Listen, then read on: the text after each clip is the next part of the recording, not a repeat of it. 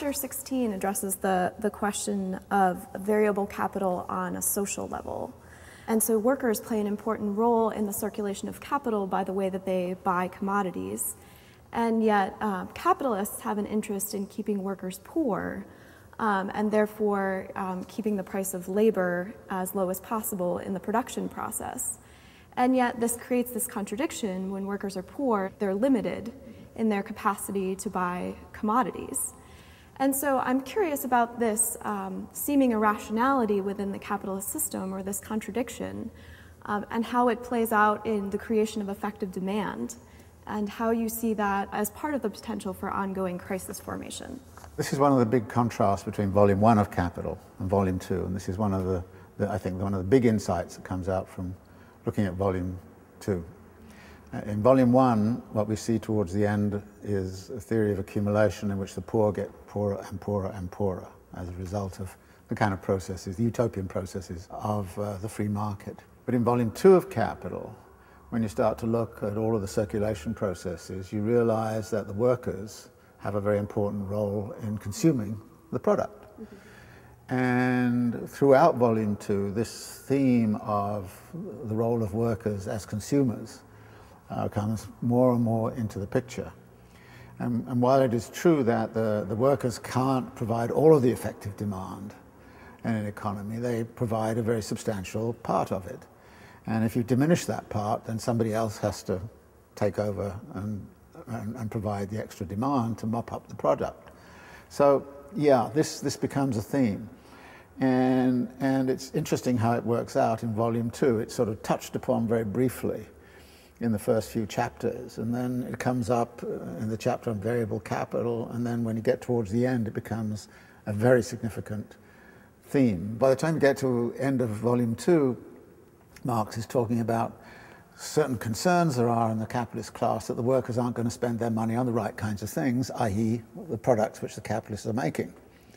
And uh, so there comes in, if you like, rational workers' consumption comes in at the end of volume two.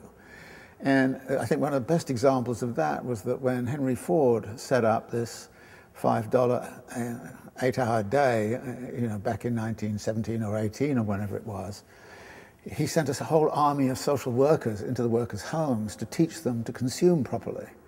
He didn't want them spending their money on, you know, drink and women and all this kind of stuff. He, he wanted rational consumption from the standpoint of, of, of, of capital. So this is something which, which, which, when you're reading volume one, you would never dream of as being an issue. But by the time you get to the end of volume two, it has become a very significant issue. Of course, what that says uh, to me is that there's a massive potential for contradiction here. And the way I would generally put it is that if capital is working well along the lines of volume one, you're going to be out of balance in volume two. If you're working well in the volume two sense, you're going to have to be out of balance in the volume one sense. So there's a contradiction between the two, two volumes. So uh, how'd you like these chapters this week? Were they, were they fun? Did, did you understand what was going on? I had a very hard time of it, I must say. I, I went over them several times trying to figure out. I think there are a couple of things going on here that, that uh, the background. One is, uh, of course, Marx's uh, perpetual argument with uh, the political economists of the time.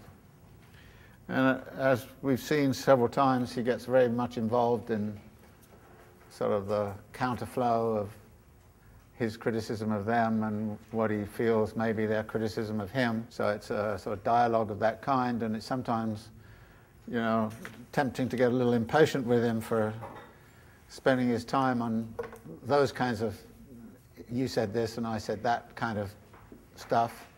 And, and you wish he would get on to sort of really talk about, you know, how this actually impacts his whole uh, theoretical structure. But before we get too critical of him, I have to say that in contemporary academia, if you took away all of the articles which were about dissing somebody else or protecting yourself about being dissed by somebody else, you probably would be left with only about 10% of the articles. So I think uh, the manner of debate and discussion, the only difference this time is here is that we're not necessarily familiar with the terrain on which he's working. I mean, we haven't read Torrens, we haven't read all the Ricardian school, so we wouldn't be familiar with uh, what it is. And, uh, you know, it's sort of entering into the bit of a middle of an argument and not knowing who the opponents are and what the issues are. And I'll try and point out, I think, one very significant uh, aspect of that. The other problem is uh, uh, this wonderful little kind of comment that uh, uh, Engels makes on page uh, 359. The preparation of this chapter for publication has involved no small difficulties. Despite Marx's firm grasp of algebra, he was never at ease in reckoning with figures, i.e., in commercial calculations, even though there is a thick sheaf of notebooks in which he worked through all the various kinds of commercial calculation in several examples. But knowledge of the proper rules of calculation is not all the same thing as exercise in the everyday practical calculations of the trader, and in his turnover calculations, Marx became confused, with the result that apart from being incomplete, they contained many errors and contradictions. In the tables reproduced above, I have retained only the simplest and arithmetically correct calculations, mainly for the following reason. So he spared us actually pub, you know, republishing all of those, that big sheaf of notebooks with erroneous calculations. But you often find actually Marx when he adds things up, doesn't add them up right. Um, so Engels goes on to say the uncertain results of this tiresome calculation business, and I have to say I got understood what he meant by that, led Marx to ascribe an undeserved significance to what, in my opinion, is in fact a matter of little importance. That's the other problem, uh, particularly in, in the first of these chapters. But there are some issues that are raised here that I think are, are important, and I, I try to identify what I think they are, and, and maybe you have some different uh, uh, opinions. So let's look at uh, chapter 15, which is about the effect of circulation time on the magnitude of the capital advanced. Um, and we can go through this, I think, in a series of, of steps. Uh, there is a distinction here immediately set up between a working period and a circulation period. Uh, production time, where there's no work going on but it's still in production, is left out of the picture here, and he assumes that working period and production time are coterminous. There are times when he talks about what happens when production time is not the same as work, working period, but the main distinction here is between working period when people are actually working on making something and are actually uh, sort of uh, uh, creating value in the labor process and, and the circulation time when it's going off on the market. So he kind of uses this example on the first page on uh, 334. He's saying, well, let, let, suppose there's a, a, working period where there's nine weeks uh, labor, and then let the circulation time be three weeks. The total turnover period is then 12 weeks. After nine weeks have elapsed, elapsed, the productive capital advanced is transformed into commodity capital, but it now has to spend three weeks in the circulation period. Thus, the new cycle of production can begin again only at the start of the 13th week, and production is at a standstill for three weeks, or a quarter of the total circulation period. Now, one of the theses that then comes uh, very important here is uh, the idea of the continuity of, uh, of, of, capital. And if you go to 356, Marx says, continuity is itself a productive force of labor. It's a very important kind of statement at the, at the, towards the bottom there. And this continuity, therefore, has to be maintained at all costs. Any break in the continuity, and that has been an argument right from the very beginning of Volume 2, that any break in the continuity is, is a loss of capital, and that therefore you cannot afford it. So the continuity is significant. But what you've immediately got here uh, in uh, this first part of uh, chapter 15 is this idea that there is going to be a loss because there's three weeks where you can't produce because you've got to wait for your money to come back. Now, there are two solutions to this, he says. One is that you don't actually invest uh, the whole of the 900 pounds uh, in, in the production process. You sort of hold some of it back so that you have enough to carry the three over the three weeks. He doesn't like that solution too much. He raises some objections to it. uh, that there may be difficulties of meeting certain scale requirements in production and all the rest of it. Um, frankly, I don't see why that is so radically different than the second solution, which he gets to on uh, page uh, 336. If, however, we assume the reverse of this, this, namely that the nature of the investment excludes a reduction in the scale of production and hence also in the fluid capital to be advanced each week, then the continuity of production can be maintained only by an additional fluid capital in the above case one of 300 pounds. So what we've got is a situation where the working period, we're sort of in this working period, so we're progressing and, and we've got a, at the end of nine weeks, that's over, and then we've got the circulation time. And we have 900 at the beginning. We have 900 pounds at the beginning, uh, and we invest it in. He then sort of also in this excludes any investment in uh, constant capital and says that imagine a situation where we're just dealing with variable capital turning over and forget the constant capital. And he also excludes any question of fixed capital at the moment. So the fixed capital is excluded, the constant capital is excluded. We're just going to look at the 900 pounds, which is going to variable capital. So 900 pounds is going, going to the labourers as they produce uh, over, this, over this kind of period, over, in this period. Then you get here and you need another 300 pounds. So you have to invest, find another 300 pounds at this point to cover over this period. Then what happens is you finally get your money back here, which is you get your 900 pounds, you get it back here, but you only need it 600, you only need another 600 to complete the, the next working period. So what this does is it actually means that you've got an idle money capital now of 300 pounds because you've got 300 here and then you've got 600 here, which takes up your, makes you 900, but you've, you've got the 300 pound surplus. So we've got a surplus of money capital uh, in here which is now staying idle uh, for, uh, so that, that surplus is, is 300 pounds is going to stay surplus until you get into the next period where you need another 900 pounds and so it goes on. So this is how, how Marx is in imagining the situation. So this is how this works. So again, back on 336, during the three weeks for which the capital exists in the circulation sphere, functioning as commodity capital, it is the same for the production process as if it did not exist at all. We are abstracting here from all credit relations, and this is the kind of credit thing keeps on coming back in and out of this chapter in uh, the usual annoying kind of, kind of way, and assume therefore that the capitalist operates only with his own capital.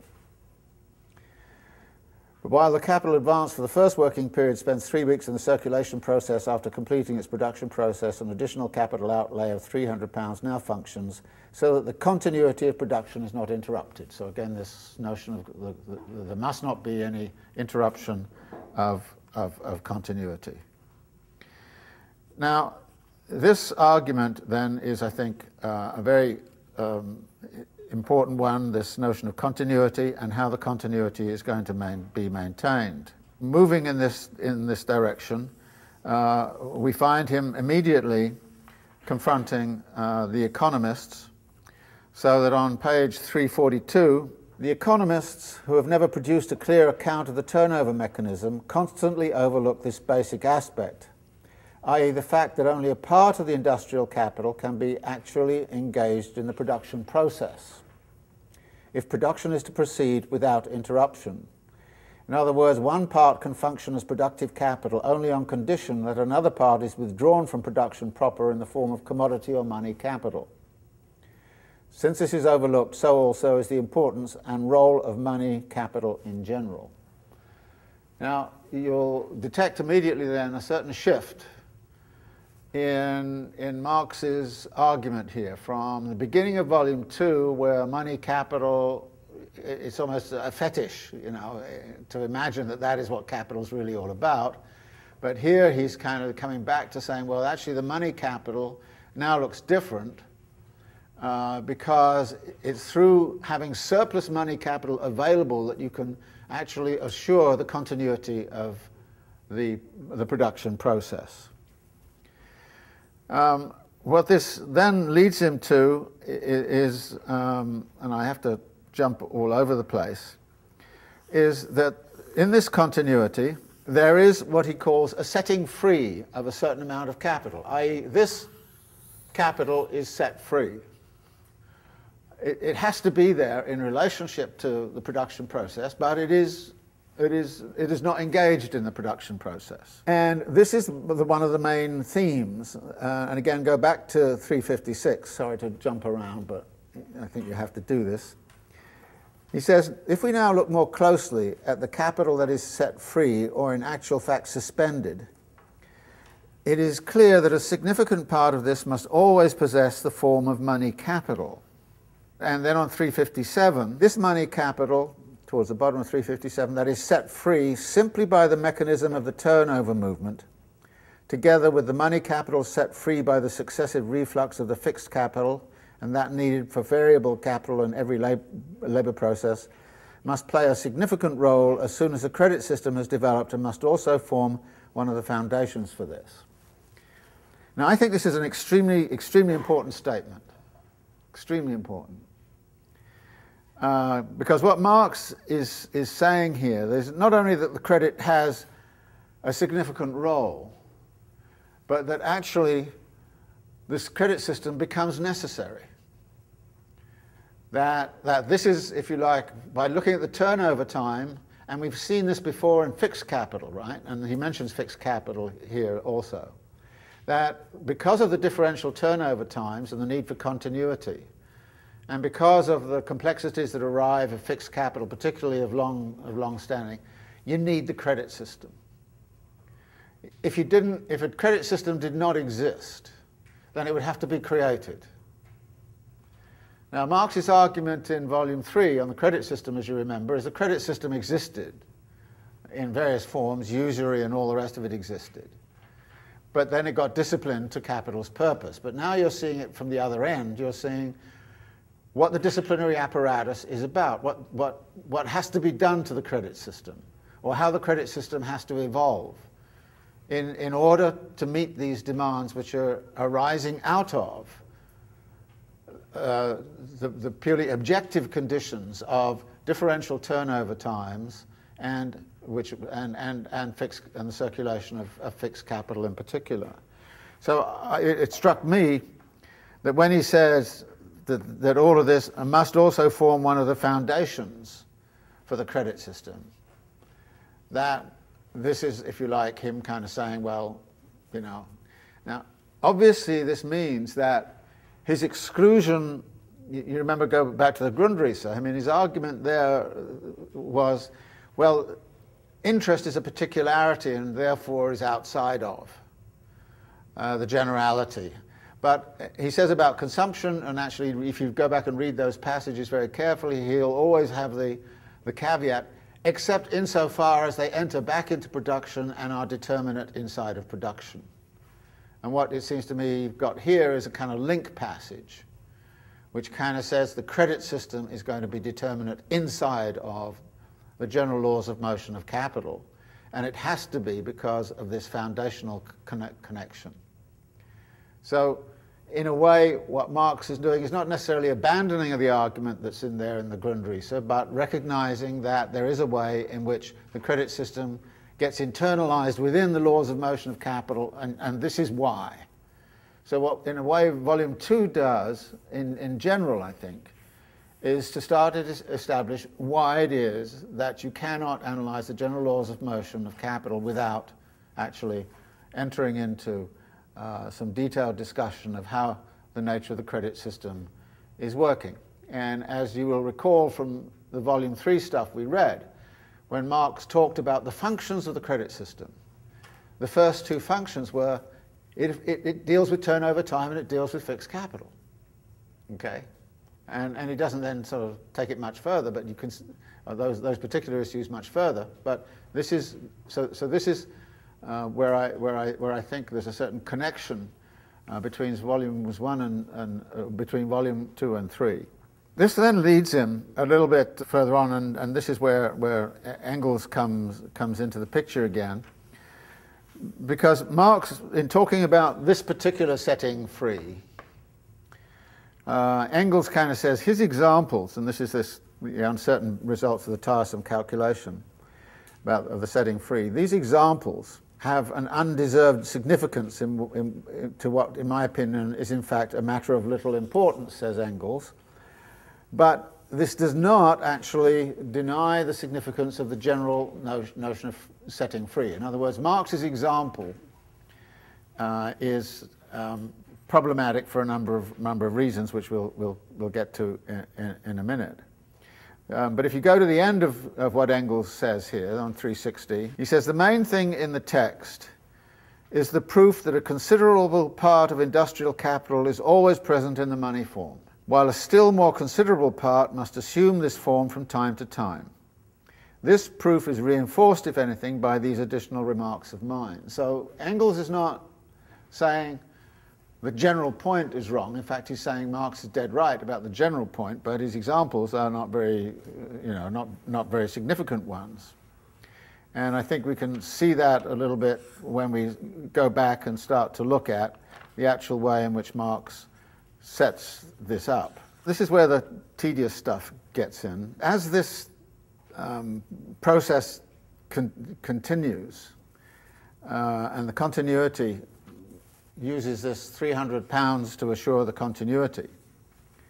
Uh, he then runs through a whole series of, of, of examples. Uh, and, you know, without, without getting too deeply into them, but he ends up with these three typical marks. He kind of says, all right, I'm going to look at this situation where working period and circulation period are equal and does a bunch of calculations. Then he says, okay, working period longer than circulation period. And then, you know, you saw this tactic, tactic in volume one, by the way, uh, this kind of, well, and then the third example is uh, working period shorter than circulation period. And we get all these uh, sorts of things. Now, the result is, I think, kind of interesting. The above investigation, he says, on 355, is that the various portions in which the capital has to be divided so that one part of it can always be in its working period while other parts are in their circulation period uh, relieve each other like independent private capitals in two cases. If the working period is equal to the circulation period and the turnover period is thus divided into two equal sections, then there is no capital which has to be free.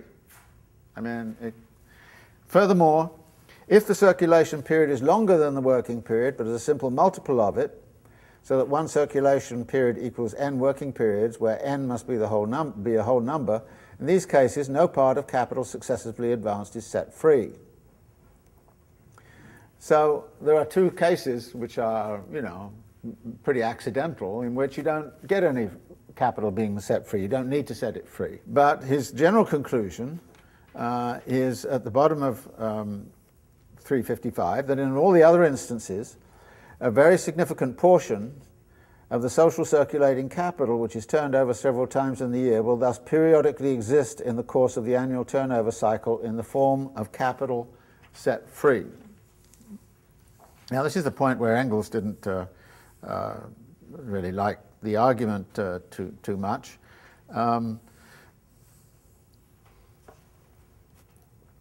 but then this question is, well, why not start talking about the credit system, which he did in 357 in that passage I earlier read. Uh, so that credit obviously is going to come in here. I mean, why do you why do you need to just hang around with your 300 pounds in your pocket? Why don't you put it on the money market while it's out there and then bring it back in when you need it?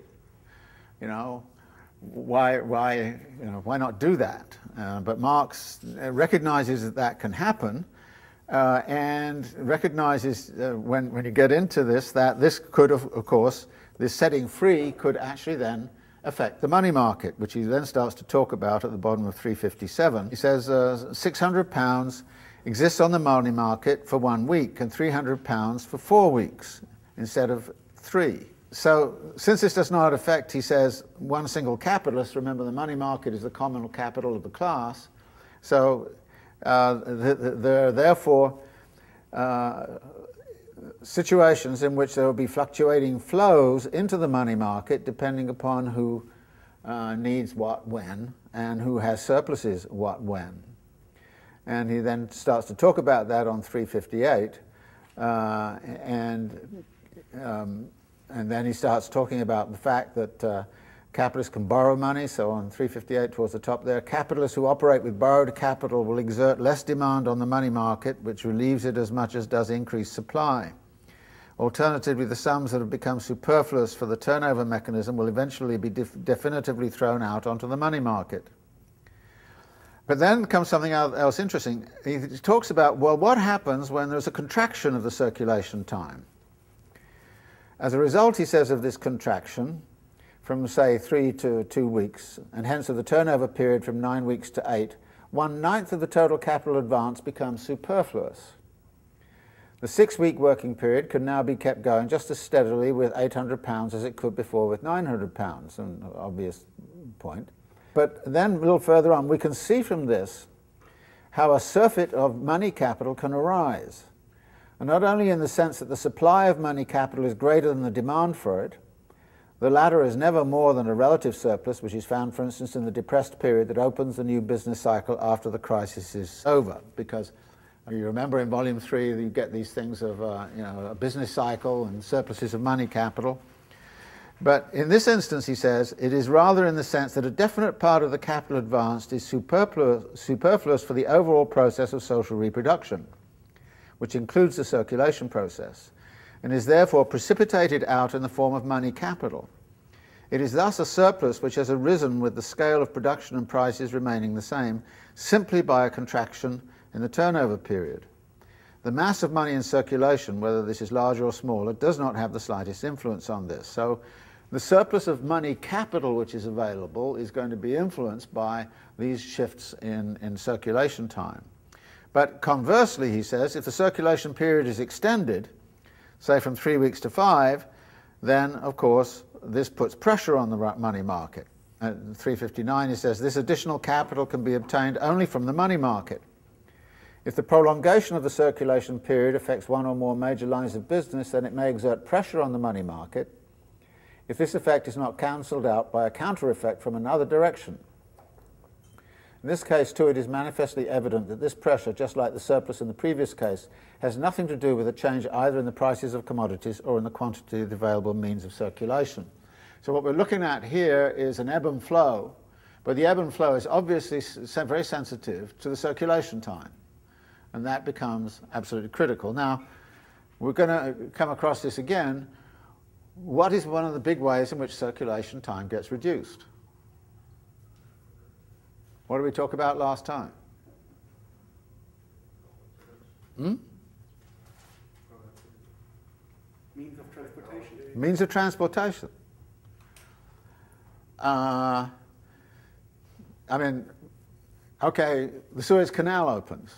And you remember that from volume three. The Suez Canal opens, and so you know, the whole kind of business of, of trading with India, instead of taking, uh, I don't know, three months, uh, takes uh, six weeks. And this, uh, this has a huge, there's a huge reduction in circulation time, which then actually means that less money has to be wrapped up in the production process because the circulation time is contracted.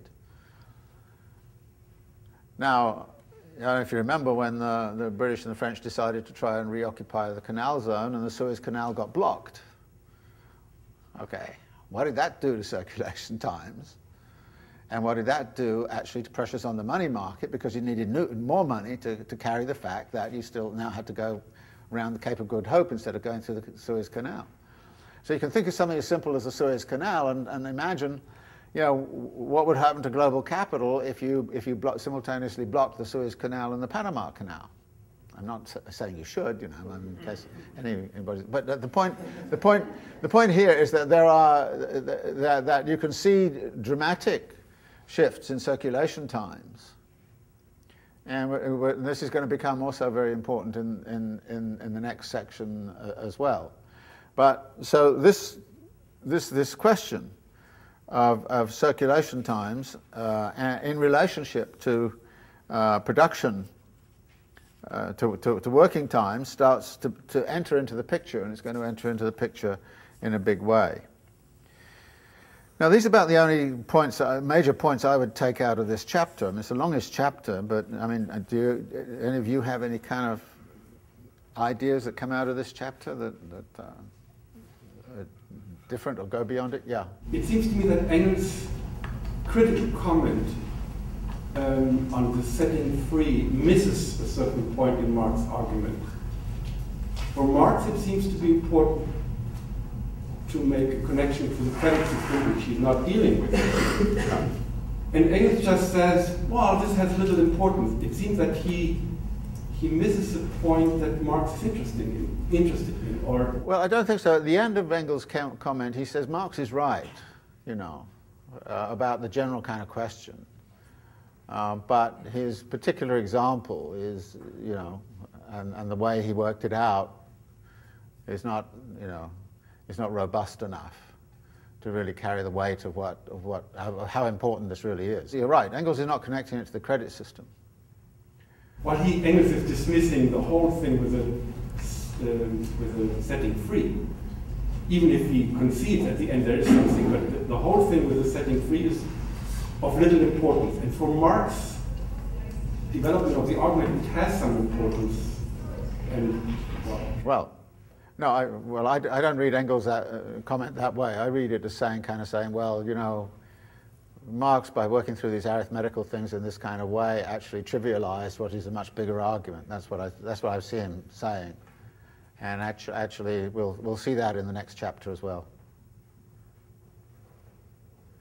Yeah it seems like okay, we have here's the productive capital, here's the financial capital, depending on the circulation time, you know, those, uh, of, but missing from this are uh, commodity capital, right, where you have stocks, inventory, and things like that, which I guess maybe where it was handled a little bit earlier, but it seems like that's been sort of abstracted out of this analysis here, or yeah. perhaps, you know, times of the working uh, period and, uh, yeah. and circulation time could also, then you're looking at inventory stocks, like, you know, we're talking about just in time, all this, right. all this sort of thing, sort of been abstracted here, and yeah. all we're looking at is yeah, this is characteristic of volume two to abstract from all those things. I mean, obviously, if at this point the merchant capitalist comes in and says, all right, I'll discount your bill of exchange or I'll discount, I'll just take your commodity capital off your hand, merchant, when merchant capital comes in here and says, okay, I'll, I'll, I'll do this bit for you, then you don't have to lay out your extra 300 pounds. The merchant capitalist does that for you.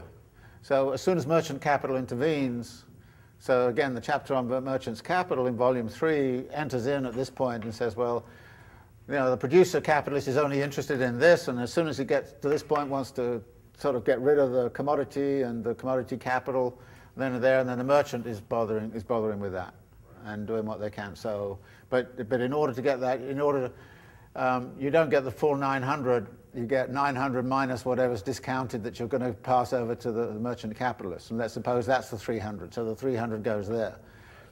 But again, Marx's argument in merchant capital is that the merchant capitalist is, is, is efficiency and both is efficient, and, and they will get part of that 300 and, and, and they won't have to give up the whole 300. They'll give up, you know, maybe 200 and, and, and they'll, you know, so that, that's, so yeah, it's, it's abstracting, it's abstracting. I mean, the whole analysis is, very, is, is based on very abstract and, and, and, and you know, constant capital purchases. At some point, he kind of says, well, you can stagger them to an just-in-time thing. You don't have to have them all at the same time. So it's a very, very, very highly simplified thing. And, and, and I think, you know, again, once, you, once, once you're familiar with the, what the merchant capitalist does and what the credit capitalist does, you can see, well, you know, a lot of this disappears when they get into the act. But you can understand, you can understand where, where, why they might get into the act and how they might get into the act, which is why I did like this one statement where he kind of says this is the foundation of a credit system.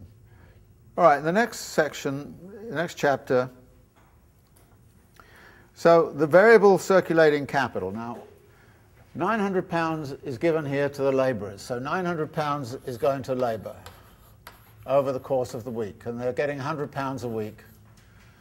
Uh, and, and so, and they're getting on a weekly basis. So they're, they're, getting, they're getting their 900 pounds this way. Uh, in this direction, of course, we've, we've got the production of a surplus. So 900 pounds is simply variable capital. So there's a circulation process of variable capital. You, then, then you've got the 900 pounds and you can start again and, uh, employing labor, okay? And again, you're going to produce uh, a, a, surplus.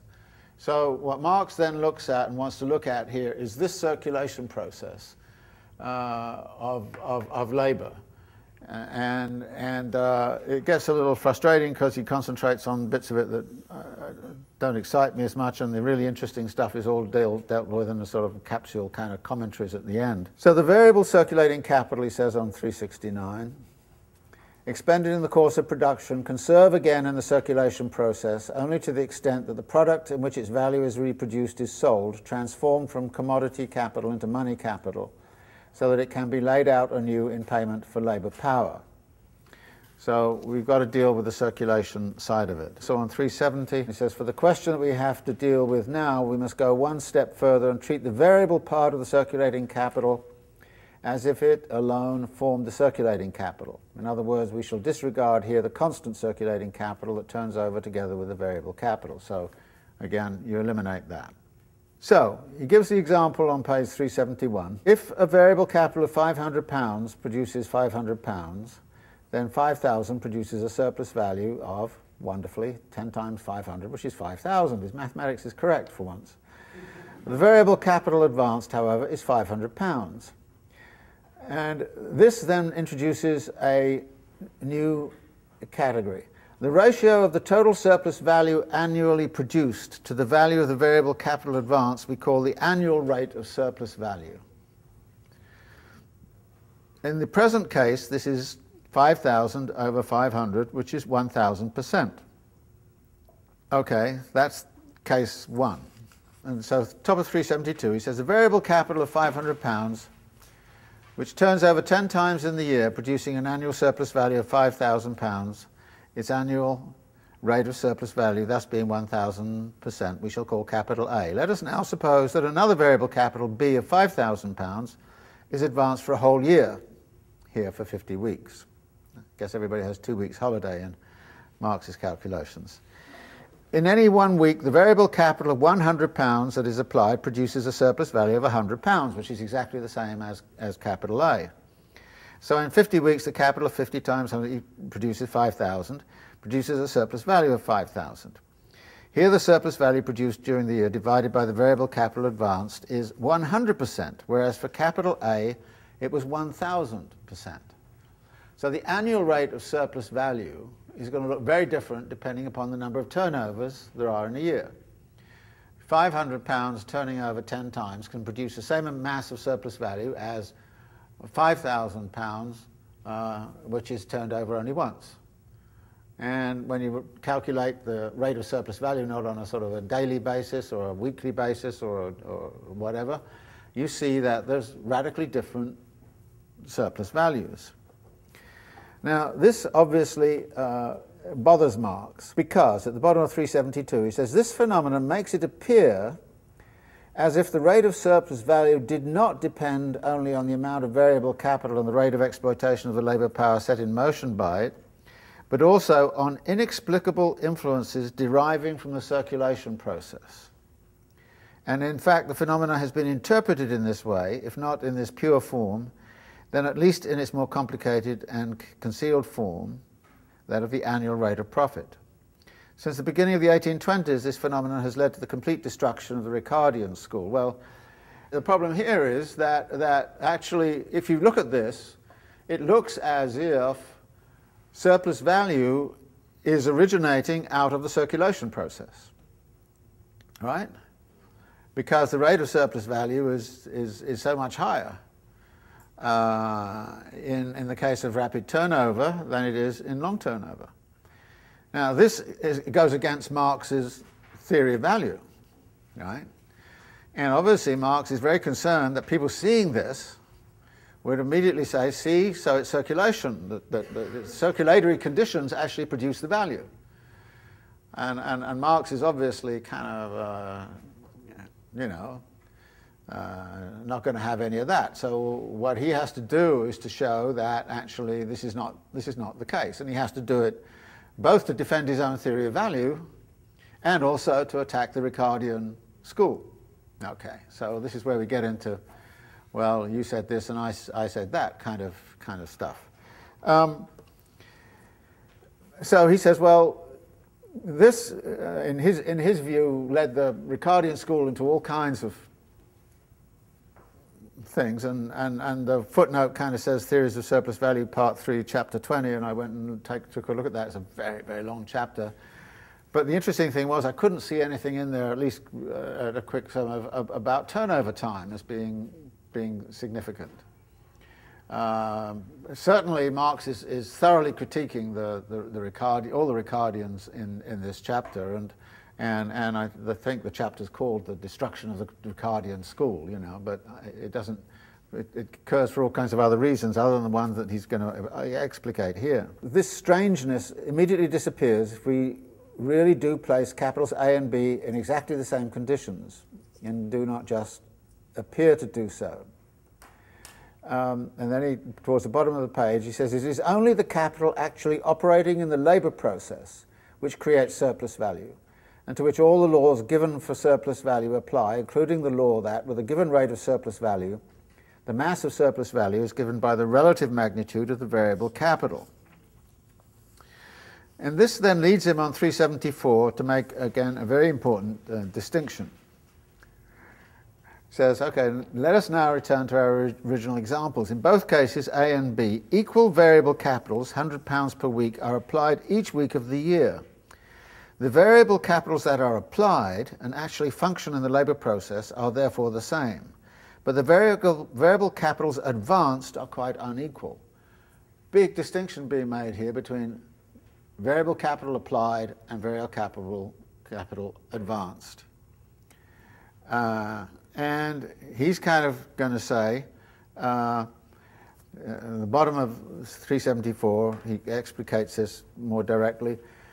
The variable capital advanced functions as variable capital only to the extent that it is actually applied, and during the time for which it is applied, not during the time in which it remains advanced in reserve without being applied but all circumstances that differentiate the ratio between advanced and applied variable capital can be summed up in the difference in turnover periods, determined by a difference either in working periods or in circulation periods, or both.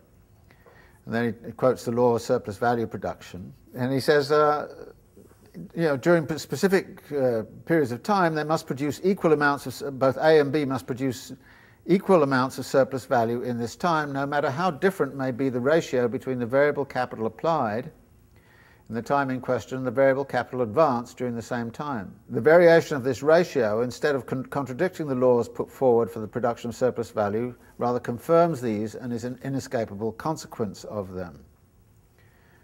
So he's reconciled, if you like, the fact that there is indeed a major distinction in the rate of annual rate of surplus value between which is affected by uh, this, uh, uh, affected by turnover time, but that you can actually simply uh, reduce it back to something that is entirely predictable given how Marx sets out the law of surplus value. The difficulty, of course, is why not, why, why if, if the turnover time is one year, do you have to have the £5,000 advanced at the beginning of the year?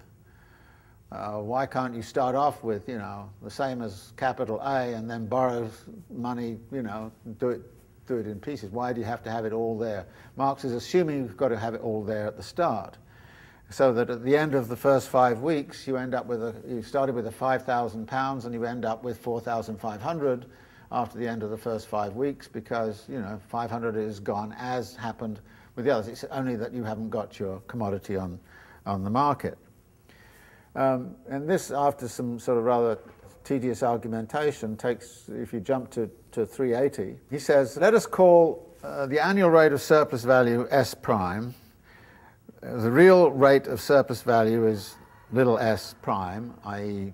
what happens on a daily or, or weekly basis the variable capital advance V and the number of turnovers N, and then he does one of his little kind of da, da, da, ends up with the obvious thing that the annual rate of surplus value is always S times N, i.e.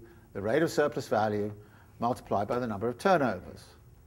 So this is how he is generally reconciling the two arguments, which is not a very sort of complicated uh, kind of argument.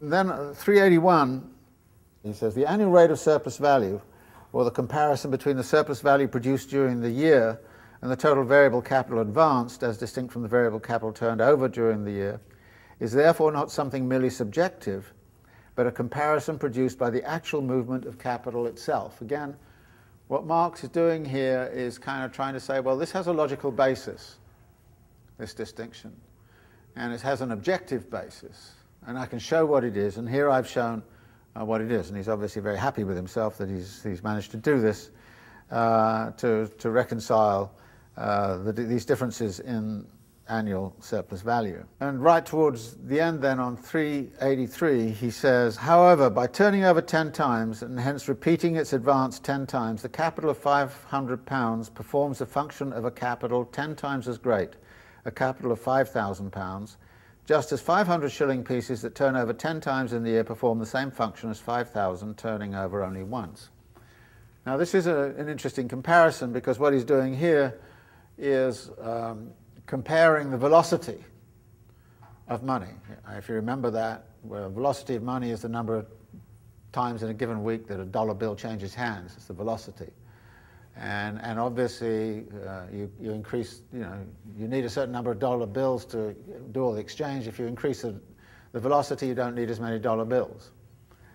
And he's saying this is an analogous situation uh, to that. The velocity of money is, is analogous to what happens here. Now, this, however, um, is where I had very much wished that he had spent a little time talking about the significance of all of this for his own theorizing. In volume three of Capital, Marx tends to ignore the whole kind of question of turnover. Uh, he apparently had a, uh, an empty notebook with a title, uh, which was the effect of turnover on the profit rate, but it was an empty notebook. So what Engels did was to write a chapter in volume three about the effect of turnover time on profit rates. And what Engels says there is just to sort of, which I think comes back to your, your kind of point, that uh, he says there that the profit rates of two similar capitals vary inversely as their turnover times, and that the direct effect of the abbreviated turnover time on the production of surplus value and therefore also on profit consists in the increased effectiveness which this gives to the variable portion of capital. Now that of course is what Marx is, is, is, is talking about here. But there are some very far-reaching implications for Marx's own argument. As you, as you know, Marx in Volume 3 uh, argued very strongly for the idea there is a law or a tendency for the rate of profit to fall.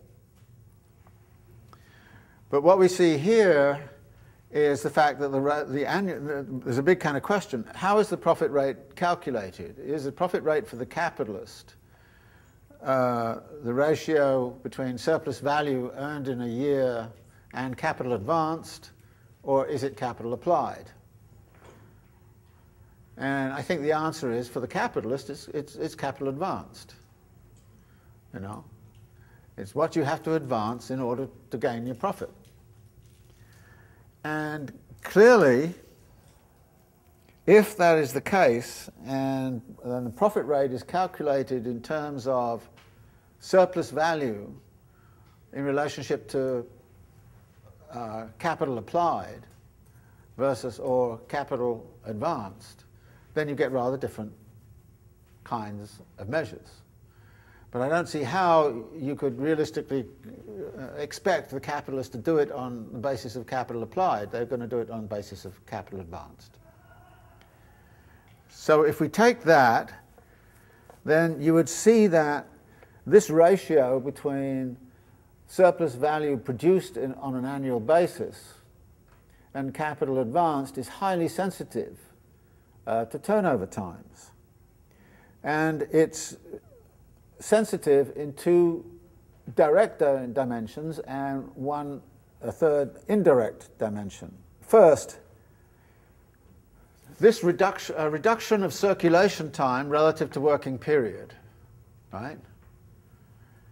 Immediately has an impact uh, on capital advanced. In other words, you needed, you needed this, you needed a total of 1,200 to get you to here, capital advanced. If you cut this back, then you only need uh, 1,100. If you cut it back to there, you only need 900.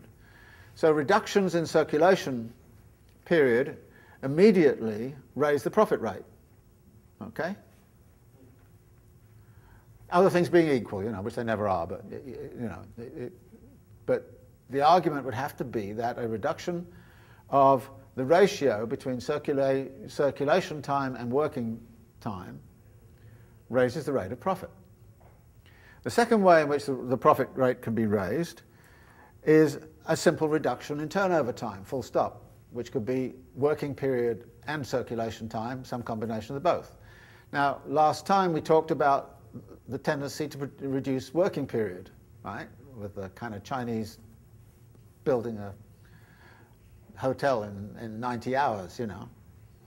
So a, a reduction of turnover of, of, of, working period and circulation time constant, or you can just say reduction of circulation time and, and, and working period reduces it. So any reduction in aggregate turnover time actually raises the profit rate.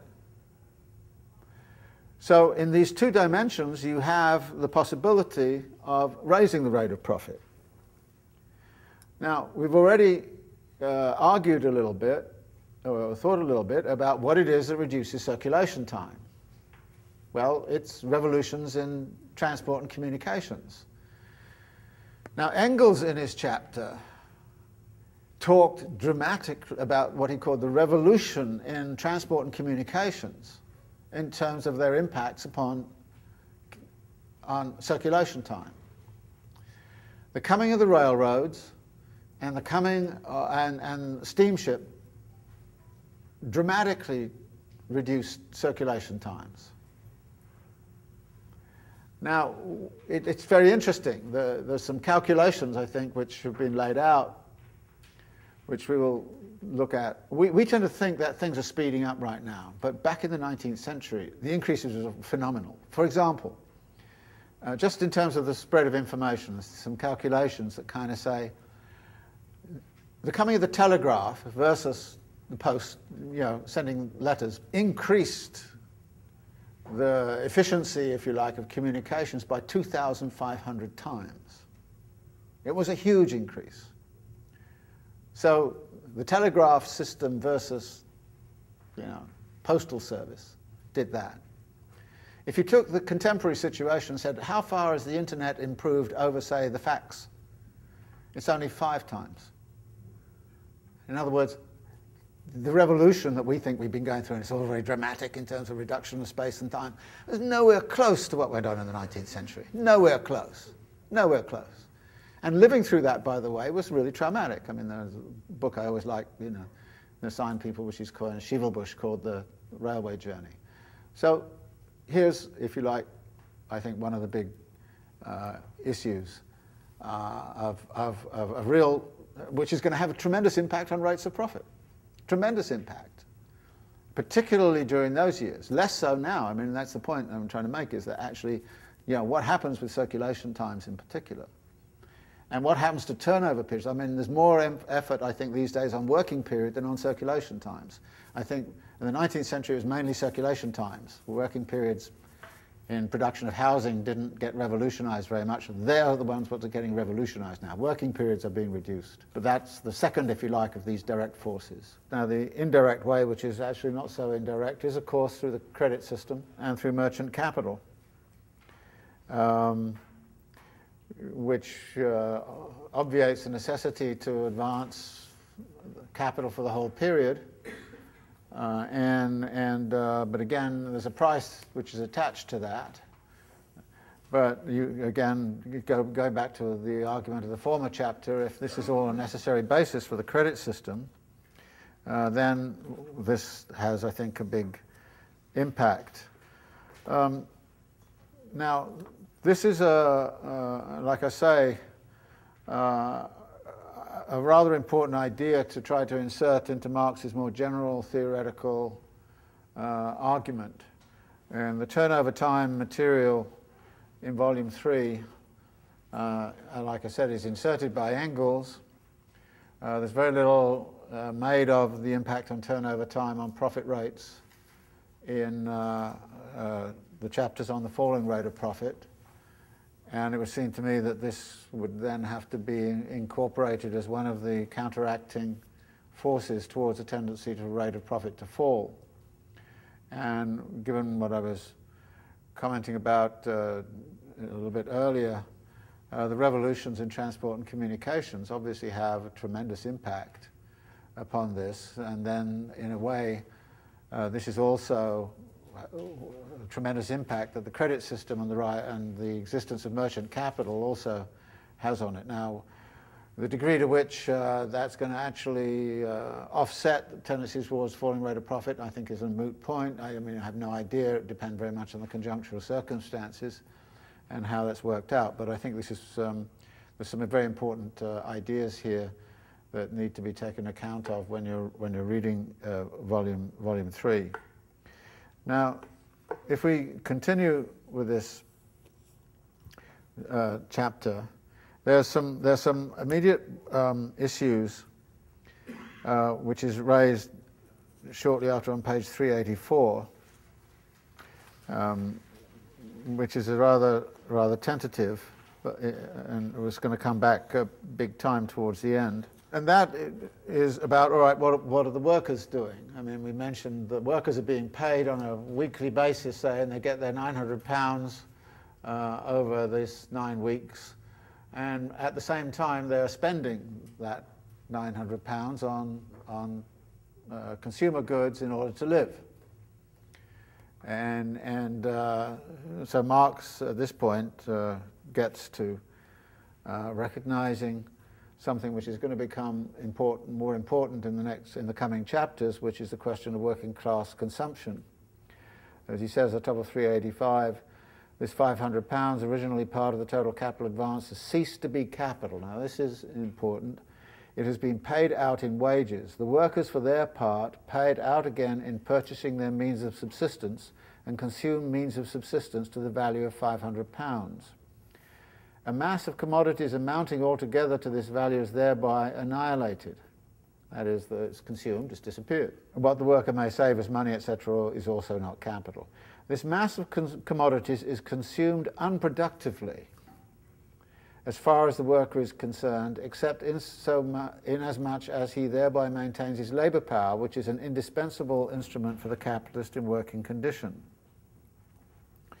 Now, this notion of unproductive. We've come across this several times. And it's a rather, you know, intuitively it's a rather uh, a kind of uh, awkward or, or, you know, inappropriate way to think about workers' consumption as being somehow unproductive. But you see Marx's point, as we mentioned in the stuff about fictitious capital, to the degree that the worker is not actually producing surplus value when they're eating and sleeping, it's unproductive as far as the capitalist is concerned. So your, your definition of productive is about is it producing surplus value? And if it's not producing surplus value, then it's not productive. That's in Marx's definition, you know. And, uh, and again, Marx tends to be uh, representing always the, the, the capitalist perspective.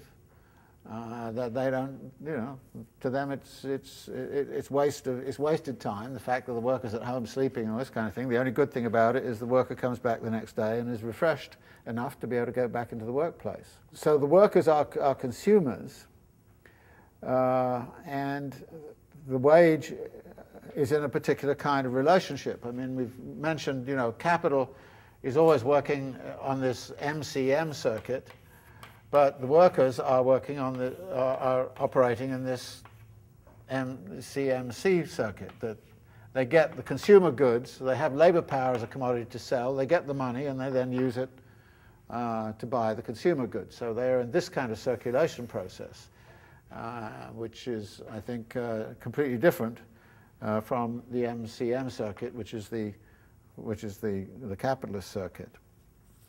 Now, the stuff on the turnover of uh, variable capital um, sort of begins to morph into sorts of some serious uh, general, general questions. And these are taken up, at least as I see it, on, on 388 uh, in the section on the turnover of variable capital considered from the social point of view. He says at the bottom there, the shorter the turnover period of capital, and hence the shorter the intervals at which its reproduction period is repeated in the course of the year, the sooner is the variable part of the capital originally advanced by the capitalist in the money form transformed into the money form of the value product created by the worker as a replacement for this variable capital. The shorter too is the time for which the capitalist has to advance money from his own funds, and the smaller the total capital that he advances in relation to the given scale of production. The relatively greater, therefore, is the mass of surplus value that the capitalist extracts in the course of the year. This is the case of, you know, capital A back in the beginning. And then a little bit further down, the preceding investigation has led us to the result that, according to the varying, mag varying magnitudes of the turnover period, money capitals of very different scale have to be advanced in order to set in motion the same volume of productive circulating capital and the same amount of labour given the same level of exploitation of labour. When, however, you get to case B, uh, he takes it up at the bottom of the page, But since the money with which the workers employed by capital B pay for their means of subsistence and withdraw them from the market is not the money form of their own value product cast into the market in the course of the year, as is the case with workers employed by capital A, it follows that although they supply the seller of their means of subsistence with money, they do not supply any commodity, either means of production or means of subsistence which he could buy with the money provided, which is the position, however, with A. Hence, labour power, means of subsistence for this labour power, fixed capital in the forms of the means of labour applied under capital B, and production materials are all withdrawn from the market, and an equivalent in money is cast into the market to replace them with. But no product is cast into the market during the year in question to replace the material elements of productive capital withdrawn from it. So you see an imbalance. You know, capital is paying out over the year 100 pounds a week or something like that for the whole year. Workers are going into the market and demanding a, a product. But as, as far as the market is concerned, no product is coming from them. So this is, again, an imbalance. I mean, if you imagined a one capitalist economy, uh, the workers would not have any, anything to spend their money on and they would all starve because there was not, I mean, we're assuming, of course, that somebody out there is producing things that they can consume. But the, the point here is that these are imbalances that arise because of the turnover stuff.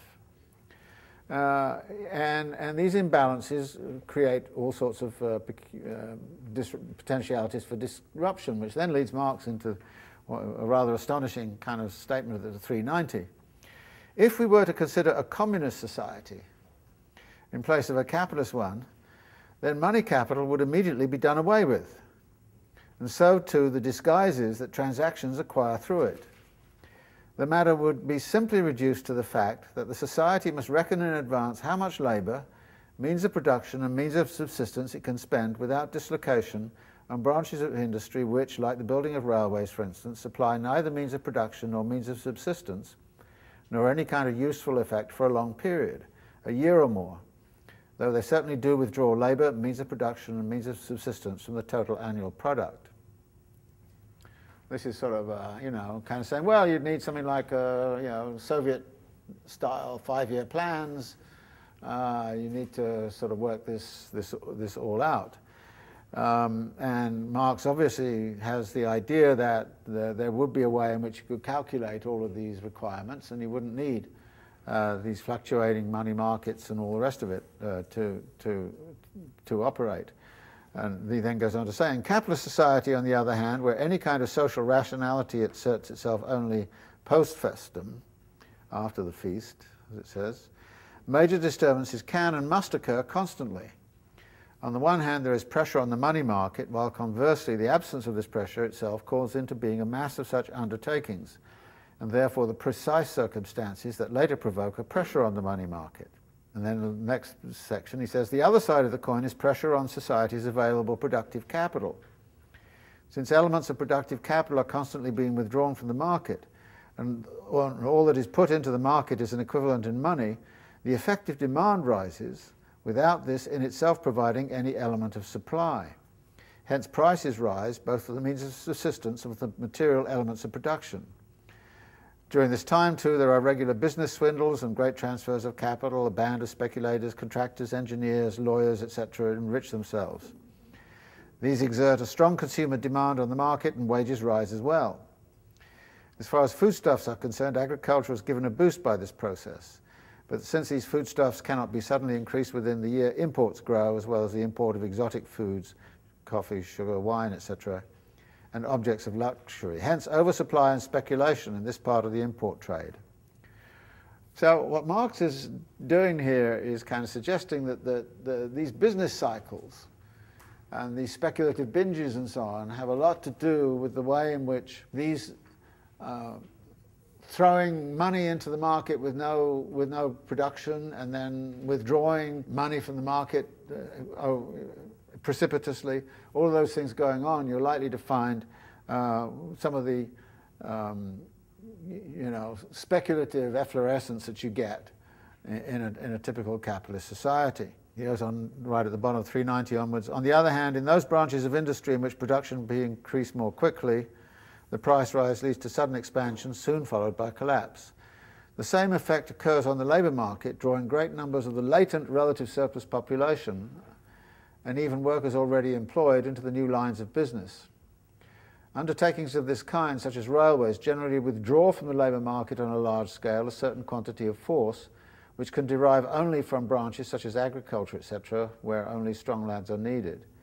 This still occurs even after the new undertakings have already become an established branch of industry and the migrant working class needed for them has already been formed, e.g., when railway construction is temporarily pursued on a scale greater than the average. A part of the reserve army of workers whose pressure keeps wages down is absorbed. Wages generally rise, even in the formerly well employed sections of the labour market. This lasts until, with the inevitable crash, the reserve army of workers is again released and wages are pressed down once more to their minimum and below it. And then comes uh, the footnote, which is, uh, you know, I think deserves a great deal more consideration in Marx's general theory Contradiction in the capitalist mode of production. The workers are important for the market as buyers of commodities. But as sellers of their commodity, labour power, capitalist society has a tendency to restrict them to their minimum price. Further contradiction. The periods in which capitalist production exerts all its forces regularly show themselves to be periods of overproduction because the limit to the application of the productive powers is not simply the production of value but also its realization. However, the sale of commodities, the realization of commodity capital and thus of surplus value as well, is restricted not by the consumer needs of society in general, but by the consumer needs of a society in which the great majority are always poor and must always remain poor. This, however, belongs rather to the next part. Well, we don't get the next part, you know, and this is where I wish he'd spent far more time actually elaborating on this kind of part of the argument rather than doing all those crazy numbers about, you know, the turnover time is five weeks and then it's three weeks and, you know, blah, blah, blah, blah. So, but, but Marx is, is clearly recognizing here that there's, a, there's, there's some unfinished business he needs to take care of, uh, which is not only the, the fluctuations, if you like, which he starts off with here of kind of, well, there's too much and then it gets withdrawn, and, and, and so we expect these kind of uh, speculative moves and people being brought into work and then thrown out of work and, and, and, and consumption to pick up and then wages to pick up and then get crashed, to those kinds of things. Not only that, but there is, if you like, a deeper kind of almost uh, uh, permanent uh, problem, permanent, uh, deeper contradiction, which is how do you, how do you sell your products? Uh, when the mass of the population is kept in an impoverished state. How do you, how do, you do that? And, and this is again something that is going to crop up in, in, the, in the next chapter. But here is, is, is I think, just sort of uh, quickly kind of uh, mentioned. But again, what we find is that some of these questions become entangled uh, about, you know, when it gets to sort of where is the market and all this kind of stuff, get entangled uh, with this other theme that keeps on sort of coming back at bits and pieces of, of this, which is the, what's the relationship to distant markets? So on 392 at the top, he starts to talk about the length of the circulation period. This is partly conditioned, he says, by the constant change in market conditions, the greater or lesser ease of selling, and the necessity which arises from this of casting the product partly on nearer and partly on more distant markets. Apart from the scale of demand in general, the movement of prices plays a major role here. Sales are deliberately restricted when prices are falling, while production goes ahead. And the converse occurs when prices are rising, when production and sale keep in step, or selling even takes place in advance. However, the actual distance of the place of production from the market outlet should be considered as a specific material basis. And then, right at the end, in 393, he starts talking about the export trade to India and and, and what gets unsold and how uh, the, the, the market and the money market work in geographical perspective. So these social kind of questions which are being raised here about the circulation of variable capital and the demand for goods that uh, the labor, laboring classes exert and, and what that has to do with the wage rate and how many of them are employed and how many are unemployed, all those kinds of questions seem to me to be uh, rather, rather more significant than, I mean, Marx is saying they're significant, no question about it, but he just doesn't give us a very good analysis of it here. And we'll get some of it in subsequent chapters, but uh, unfortunately, I think uh, nowhere near uh, enough. Well, that's all I really want to say about this turnover of variable capital. Do you have does anyone have any kind of comments on it yourself? I mean, there are issues that you see in here that I haven't seen because, you know, like I say, I struggle with this stuff, you know, and try to figure out what, what's going on and, and what is the significant argument and what is not. Yeah. I find these passages always very important when he gives a little glimpse of what, how he imagines a communist society. Yeah. He does it in chapter 1 in the, in the midst of, or at the end of the fetishism chapter, where he talks about the um, world of the free producers, and, and here as well. And um, I, I admire in a way the realistic way he is approaching that. Uh, in, a way, in a way he says every society has a problem to regulate where to invest the labor force, even for a long period uh, where they're not producing anything, and how to compensate that. And his assumption is, but that can be done in a more rational and right. uh, way and not that it hits you from behind. Yeah, no, I mean, the, the, the communist society he's talking about is, is open to rational calculation. And, uh, you know, you can find ways of rationally calculating this. And actually, I think it's a little bit unfair to capital sometimes because I think the capital does engage in rational, you know, internally within corporations, they do indeed engage in rational calculation of this kind. The big problem is that it's not actually then taken socially. And that's one of the big kind of questions. Yeah. I wanted to further comment on that. Uh, I think that some of this uh, other, we, we discussed the rise of the managerial class. Yeah. I think that in many ways, Marx just, uh, in, a, in a few areas, uh, you know, he says uh, he does have a faith that, that that managerial class can be, you know, released from the constraints of capital, and that, that you know we can that, that once yeah, once released from the from the from the necessity of turning a profit, then we can just use that managerial class to. Which then uh, goes to his idea, which maybe from our perspective right now looks a bit crazy, the joint stock company is a transitional form of organization in which so associated capital could be turned into a world in which associated labor. Uh, but a joint stock company certainly does do rational calculation of, of, of this kind. And, and I think that, you know, he sees you, you, can, you can put this, the managerial side and the, and the joint stock company form and the communist society. I mean, you can start to construct a little bit of a, a shadowy notion of what his idea of communism is from, from, from these passages. Whether it's an effective thing, and, and you know, is another question, but at least you, get, you can get some idea as to what he has in mind. There's somebody here. Yeah. Do you think that in addition to holding credit constant in this in this chapter, Marx is also holding educational workers constant and not mentioning it maybe at some points because I mean assuming that they're building a locomotive over nine weeks, right? There's you can't really like hire and fire people within fourth week if they have assumed skills in the process um, that that are contributing to them finishing up the product. Yeah, well, again, he, he tends to abstract from, you know, both potential disruptions in the workplace, but also kind of all those kinds of questions. Labor is really being treated here in a rather sort of homogeneous kind of way.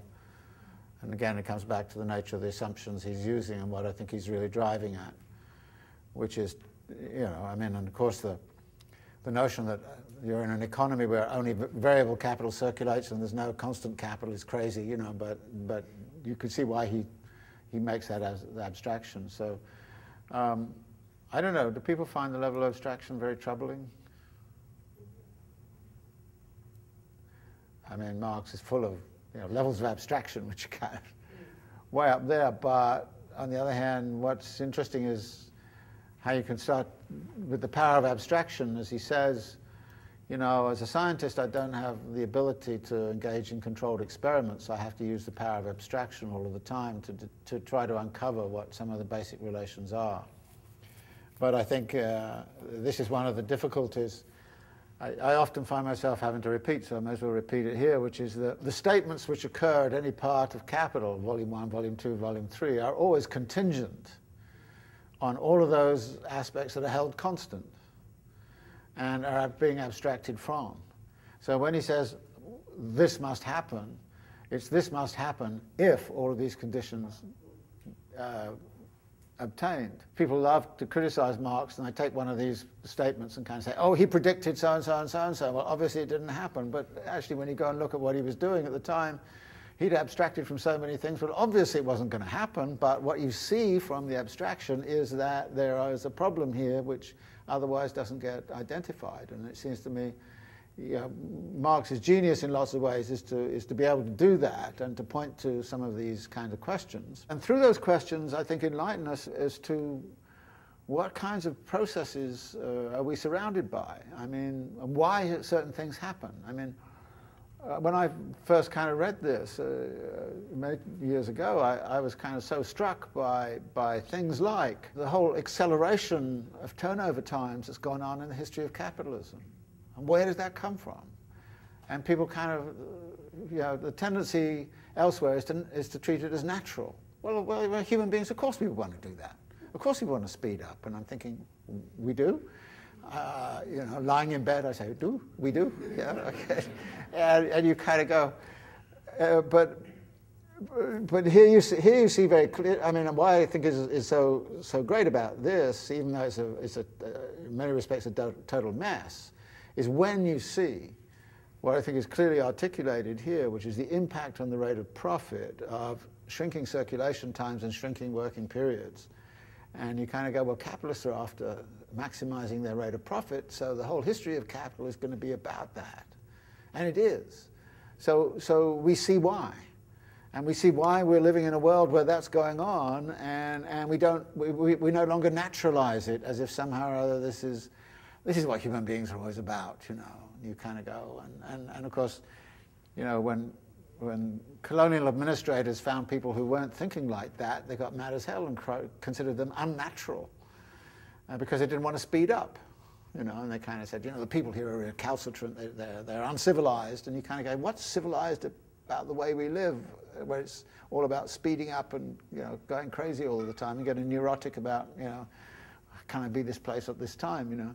So I think what's, what's good about it is, is, is precisely through these levels of abstraction, as you can see, certain principles which are, which are deeply embedded in a capitalist mode of production. And we live those principles every, on a daily basis. And, and, and we understand why. And, and then if we don't like, uh, you know, the way we have to live on a daily basis, then we can say, well, one of the, one of the ways, the only way we're going to get out of this is, you know, join an anti-capitalist movement and, you know, have done with capital. And I think that's where this kind of, well, if you're in a communist society, it wouldn't operate this way. But presumably you wouldn't also be really concerned to accelerate turnover times in the way that, that, that, that, that, that we are. So I think, you know, those are the, those are the things that, that are, I think, uh, the really interesting things that come out of it. The, the sp specific mode of argumentation, as you see in these chapters, is often very tedious. And, and, and uh, you know, Marx is obviously having arguments with other with shadowy figures in political economy a lot of the time, and and uh, you know that I, I, find that less interesting than the macro argument about you know where did this come from and how how has it we got to have to live this way. The circulation of surplus value. This is uh, uh, this to me is an extremely frustrating ch chapter because there are a lot of things I think that I, I you know I think this is this is the, this is one that's really going to tell me all kinds of things I want to know. But it doesn't. It, uh, it, it, it but anyway, let's deal with it then. Uh, he starts off by saying, We have already seen how the variation in turnover period produces a variation in the annual rate of surplus value, even the mass of surplus value only produced remaining the same. And he then goes back to capitals A and capitals B and the fact that one has to advance. And he then immediately gets into well, the capital advance, does it have to take care of repair and maintenance of fixed capital? And you kind of go, well, that's a big issue, I'm sure.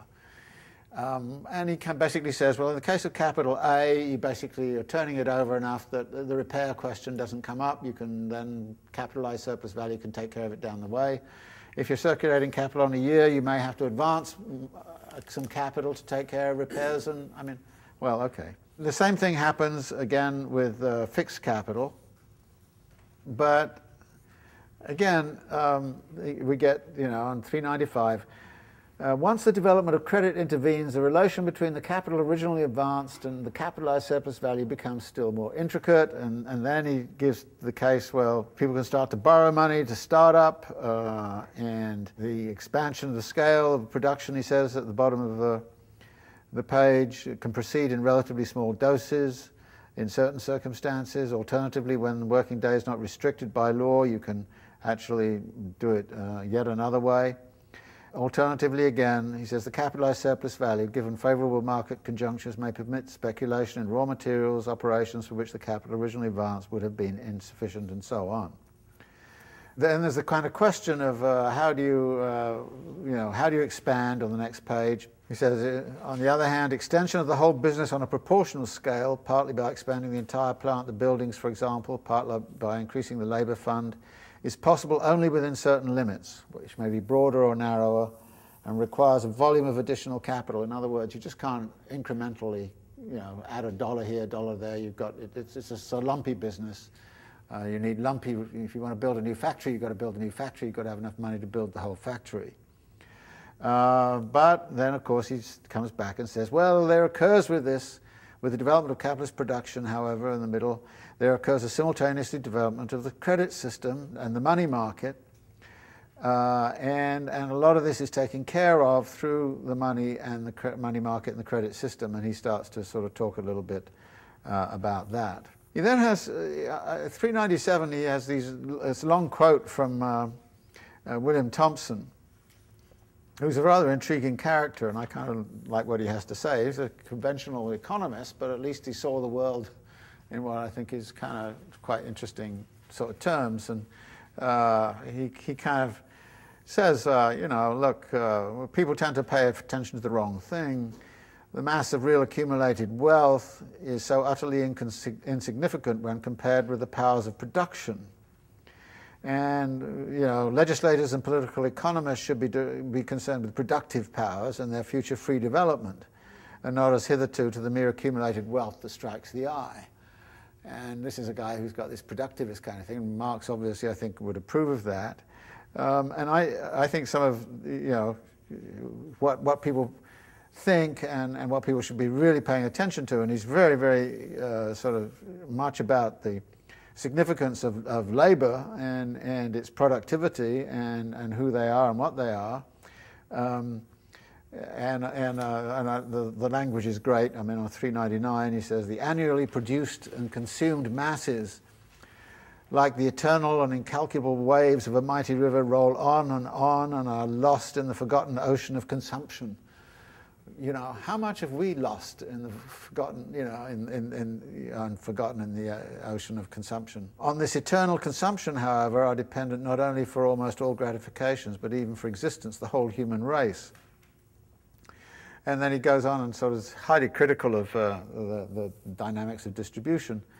And he says, uh, my favorite quotes from Thompson is this, this one In comparison to the preservation of this actual distribution, which is the distribution of wealth uh, for the capitalist class, the ever recurring misery or happiness of the whole human race has been considered as unworthy of regard. That's about the Republican Party right now. To perpetuate the results of fraud, uh, force, fraud, and chance has been called security and to su the support of this spurious security have all the productive powers of the human race been unrelentingly sacrificed. I think this is a brilliant kind of, you know, conceptualization of our own era, and somebody writing in the 1820s, you know, who was not Marx, you know, could see this very clearly at that time, and that has actually been the recurring problem of capitalism. This is what capitalism does. It, it, it imagines security comes from the accumulation of wealth and you sacrifice everything and include, the, you know, the, the, perpetuation of force, fraud, and chance. Uh, well, this is this is called security, and this is a spurious security. And you know, so I, he's kind of interesting kind of kind of guy. So then Marx does well. All right, the circulation of surplus value, and two conditions: simple reproduction and then expanded reproduction. How does it work? Now, there's a recurrent theme in here, which is the question keeps on coming back. And 404, he kind of says, the question is not where does surplus value come from, but rather where does the money come from which it is turned into? And again on the next page. But before the commodity capital is transformed back into productive capital or surplus value contained and it is spent, it must be turned into money. Where does the money for this come from? And then it says this seems difficult. Now, this then gets him into a lot of discussion in here on the role of the money producers, i.e. the gold producers. And, uh, you know, obviously they have some role in this, uh, that they actually uh, are, are making money by mining gold, and they're therefore contributing more money than they're taking out because they're, they're actually making money. I mean, they're, make, they're, making the money form, the gold commodity. So they obviously have a, a, a, role in it, but, you know, and I understand why Marx is very, very concerned uh, to, to talk about it, given the, the, gold standard of the time and all, all the rest of it. So, but on the other hand, I don't think this is the real issue, and I don't think Marx is actually saying that this is the answer to the question. In the end, the money supply in itself is not actually going to answer the question, where does the money come from? And part of the reason for that is that, that if you need more money to circulate commodities and you haven't got enough gold around, you simply create bills of exchange and all the rest of it. And you, again, the credit system comes in. And, or you accelerate the turnover time of, of money, the velocity of money or something of that kind. There are many ways in which money can accommodate to, you know, so it's not a, it's not a physical problem that there's not enough notes around or not enough gold around, and even if there is not enough gold around, there are other ways to actually accommodate the circulation. So it's not an, an issue of the money supply per se. And, and uh, so from the standpoint of uh, the money supply, he says on sort of 407, from the standpoint of money supply, the problem itself, he says, does not exist. However, there does exist, from the standpoint of capitalist production, the semblance of a special problem. For here it is the capitalist, the man who casts the money into circulation, who appears as the point of departure. Now, in effect, what we're arguing here is that where is the effective demand going to come from at the end of this production process? So we, have got a, a, production process. And what Marx is, is suggesting is the following that you, you start off with, with 900 pounds, uh, say, and, and at the end of the day, you've paid labour 900, so this 900 comes back in, and that is a, a demand for goods, all right? Now, at the end of here, you've also, so this is the variable capital, which is going to be recycled back into to the next phase. Okay? So we, have got to this point. This is the 900 uh, pounds. Of variable capital, which then, then goes back in and goes back out here to labour again, and you keep on going. So the 900 pounds just keeps on going. This is a simple reproduction. The big question is, what about the 900 pounds or $900 of, sur of surplus value?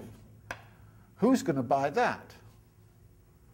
Right? Where does the money come from? Well, you know, Marx's argument is that actually the point here is that the capitalist has to live.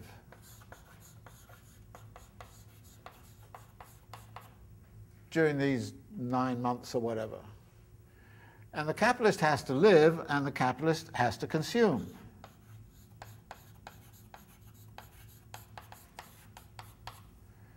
So the capitalist, in effect, has to consume $900 worth of goods during these nine months. And the capitalist buys back the surplus value from their consumption. Right? That's the argument. Right? Now, the, the, assumption, of course, uh, is that the capitalist actually consumes that amount. Uh, and he says on 408, he says, the capitalist class remains the sole starting point of the money circulation. If it needs £400 for payment for means of production and £100 for payment of labour power, then it casts £500 into circulation.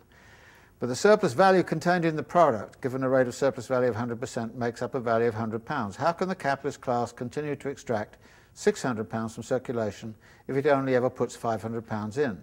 Out of nothing, nothing comes. The entire capitalist class cannot extract anything from the circulation sphere that was not put into it already. And then he goes on to say, 409, in point of fact, paradoxical as it may seem at first glance, the capitalist class itself casts into circulation the money that serves toward the realization of the surplus value contained in its commodities. But note well, it does not cast this in as money advanced and therefore not as capital. It spends it as means of purchase for its individual consumption. Thus, the money is not advanced by the capitalist class, even though this class is the starting point of its circulation. And then it goes on to say, a little bit further down, he does not advance this money as capital, he spends it, i.e., pays it out for an equivalent in means of subsistence, which he then consumes. This value is spent by him in money, cast into circulation, and withdrawn from it in commodity values. These commodity values are consumed by them. Thus, he has ceased to stand in any relationship to their value.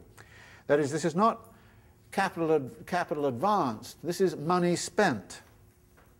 And it has to be spent, of course, in such a way, as he says, middle of 410, it was assumed in this case that the sum of money that the capitalist casts into circulation to cover his individual consumption until the first reflux of his capital is exactly equal to the surplus value that he produces and hence has to convert into money. This is obviously an arbitrary assumption in relationship to the individual capitalist, but it must be correct for the capitalist class as a whole, on the assumption of simple reproduction. It simply expresses the same thing as this assumption implies, namely that the entire surplus value is unproductively consumed, but no more than this, i.e., no fraction of the original capital stock. So it is the capitalist, it's capitalist consumption that does it. So the capitalist has to spend not only advance 900 pounds here, but they need 900 pounds, well, dollars, we convert, put it all in dollars, so it's easy. $900, they need 900 to advance $900, but they also need $900 to live on. So the capitalists and their hangers-on have to actually cast $900 into circulation during this working period and then that picks up the surplus value here. Now, the next time around, what do they do? By then, this consumption which they've spent is converted into the surplus value that the laborers have produced. All right? So now they no longer consume something that they've taken from themselves. They simply will consume what it is that the laborers have produced. Now, several times in capital, we've come across this idea that even if the capitalist starts off with some money of their own, within a very short period they've essentially consumed that away and are living off the surplus value produced by the, by, by the labourers, i.e. those who are producing the value by mixing their labor with the land are being appropriated uh, by the capitalists. So at this point, as soon as it gets to the next round, then they put 900 into here because that's come back in this form. They, they, take the 900 here and they put 900 back in, and so they live on surplus value forevermore. Marx says, as you recall from volume one of Capital, and it, again it was, it was said earlier here, you, you can't you can't uh, say that this really belongs to the capitalist after a while. It really should belong to the laborer. Because they're producing the surplus value. They're the ones who are working and they're the ones who are producing value. The capitalist enters in here as a consumer and as a, as a, as a capitalist advancing money and then, and then lives off uh, forevermore uh, the joys of, of, of this, um, uh, of the surplus value which others have created. So this is the argument that, that is being made in this chapter. But he's then kind of saying, well, but actually this doesn't work so well. It, this works fine if the turnover time is, is, say, five weeks. But what happens when the turnover time is two years or one year? Then this doesn't work well at all. Uh, you know, I mean, the poor capitalist may starve before actually you get any return.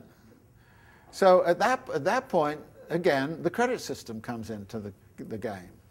In other words, in other words this, this simple kind of system that the effective demand, in, in, in a sense, Marx is saying the effective demand has two forms. One is the effective demand of the workers, which is coming here, and the effective demand of the capitalist, which is coming here.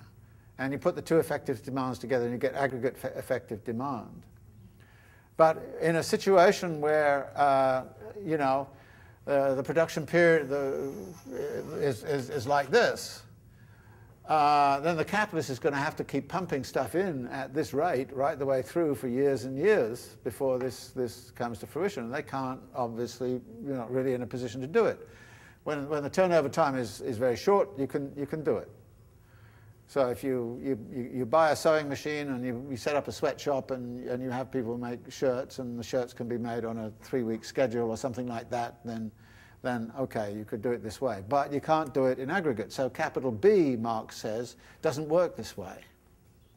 Uh, there we need something uh, different. Uh, and uh, which then gets him into um, some kind of uh, obvious problems of, of, of, inputs and outputs. As he says on 413, what this does is, uh, again, we're going to see fluctuations in the economy depending upon turnover time. In considering the turnover, we've already seen that the circumstances otherwise remaining the same. Changes in the length of the turnover periods make different amounts of capital necessary in order to continue production on the same scale. The monetary circulation must thus be elastic enough to adapt to this alternate expansion and contraction. And there can be situations, a little bit further down, he says, if we consider, for instance, the case of a general rise in wages, a consequent general fall in the rate of surplus value, there would not be, again, on the assumptions made here, any change in the value of the mass of commodities in circulation. And he then talks again on the way in which uh, demand for workers and rising wages uh, can increase uh, demand for luxury items on the next page. And he talks about the way that uh, workers can buy luxury goods. Uh, and, and then again, we get this notion of temporary oscillations. After a few oscillations, the mass of commodities in circulation is the same in value as before. As for these temporary oscillations, moreover, they can have no other result than to cast into domestic circulation as unoccupied money capital, capital which formerly sought employment in speculative undertakings on the stock exchange or abroad. And then he has an interesting little passage. The reply to the second conception is this if, there, if it were within the capacity of the capitalist producers to increase the prices of their commodities at will, then they could and would do so even without any rise in wages nor would wages rise with a fall in commodity prices.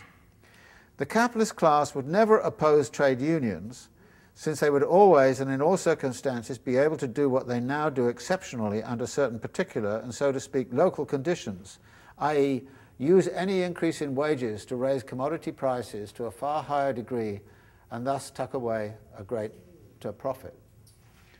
Guess what happened in this country between 1945 and 1970s? That's exactly what happened. Unions were tolerated. Wages could rise because capitalists could use that as excuse to raise prices and make an extra profit. Now, what that led into, of course, was inflation. And gradually the uh, inflation got greater and greater until you had the inflation crisis of the 1970s. But for 20 years, actually, this was tolerated. And it was tolerated largely under condition of monopoly control and monopoly capital.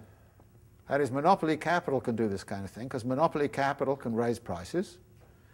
Nobody's going to do it. And, and, you know, the Detroit at that time was essentially, there was no competition with, with the big three. The big three engaged in what is called kind of price leadership and following games. That is, there was no active collusion. They just sort of simply saw, you know, Ford raised its prices, and so GM raised its prices, and, and they, then they kept on raising prices. And, and they gave concessions to workers, and they tolerated trade unions, and they didn't want to smash the unions, and they're perfectly happy. And in fact, this era of the 1945 70 was uh, the, the era of very strong growth in the United States. It also happens to be an era, uh, very interestingly, when uh, the top tax rate started at 92% and never fell below 70%. So anybody who tells you that high tax rates, uh, you know, destroy prospects for growth, just say, well, what about 1945 to you know, 19, late 1960s? Uh, you had the best growth, consistent, persistent growth performance in the US economy that's ever been. Workers were much better off, those that were employed. I mean, the problem was it was badly distributed within the working class, and you had racially excluded minorities and, you know, all the rest of it. But, and, were, and trade unions were tolerated. And, and there was a, you know, there was games played between corporations and they, you know, they do all these things. So, but it was kind of interesting. Marx kind of said they can only do this exceptionally, but it, it was, but in, in, terms of U.S. history, this was an exceptional period for all sorts of reasons. And, and, and uh, it, it's kind of very interesting that Marx has a description of, of how that could work in, in exceptional circumstances. Section 2 on accumulation and expanded reproduction says, well, what happens uh, when we start looking at this as an expanding system. And again, Marx typically spends a lot more time talking about you know, simple reproduction than he ever does about expanded reproduction, and we're going to find that in the segments that, that, that come. And he starts off this by saying, as far as the additional money capital is concerned, that required for the function of the increased productive capital, this is supplied by the portion of realized surplus value that is cast into circulation by the capitalist as money capital instead of as the money form of revenue. In other words, uh, instead of the capitalists spending all the whole 900 on, on consumption, they have to maybe dedicate half, half of it to the expansion of the system. So you get a division of the 900, uh, 450 is, is going as revenues, i.e. capitalist consumption, and, and the other 450 is going to, uh, is going to expanded, expanding reproduction. Now, we've already argued that actually the expansion is going to be lumpy and jumpy, right? Because, you know, like I say, a factory, you need to you know, have enough money. So again, uh, the credit system becomes absolutely crucial uh, to much of this. And then he kind of says, well, where does, where does this uh, expansion come from? And again, the credit system comes in uh, on, on 420 and then goes out because we assume on 421 that the credit system does not exist. But then in 422, he uh, uh, comes back to how he sees it. He says, but difficulties start to arise when we assume not partial accumulation of money capital, but general accumulation within the capitalist class. Outside this class on our assumption, that of the universal and exclusive domination of capitalist production, there is no other class except the working class. The total purchases of the working class are equal to the sum of their wages. This money flows back to the latter through the sale of their product to the working class. That, flows back to the capitalist class. Their variable capital, therefore, thereby receives its money form. So he's really talking about this circulation process of CMC that I mentioned earlier. Apart from the case, he says towards the bottom, in which all, this all-round monetary accumulation simply expresses the division in whatever proportions between the various individual capitalists of the additional precious metal which has been brought in, how else is the entire capitalist class to accumulate money? They would all have to have sold a part of their product without buying again. It is nothing mysterious that they all possess a certain money fund which they cast into the circulation sphere as means of circulation for their consumption, and of which each receives a certain part back again from the circulation sphere. But this monetary fund is then precisely a circulation fund, acquired by the conversion into money of surplus value and does not consist at all of latent money capital. So the question is, where does the latent money capital come from? And he says, well, it exists in three forms. Bank deposits, okay? Government papers, that is, uh, you know, treasury debt and all the rest of it, but simply, you know, or shares. And he kind of says, in all these cases, there is no storage of money, and what appears on the one hand as a storage of money capital appears on the other hand as a continuous real expenditure of money. There's no storage of money capital there because these are all claims on future production. And so, in a way, future production, claims on future production becomes a basis for reinvestment. And this becomes, I think, a very, a very important idea uh, that actually uh, the effective demand, uh, where consumption is now productive consumption instead of individual consumption, that effective demand in that situation can only be sustained through the creation of claims on future product. You know, so the future actually is discounted into the present, which of course is what an interest rate already does anyway. So these future claims become very, very significant for the stabilization of, of, of current realization of surplus value. Because if the, if, the, if the capitalists are no longer consuming 900, all 900, they're only going to consume 450 and, and, and use 450 in some way, then this 450 is going in, is, is a claim on future output right? This 450 is a claim on, the, on, on the, what's going to come back here.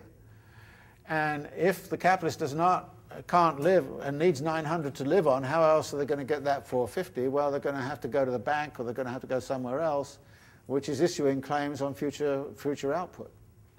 So this, if you like, becomes the secret of this.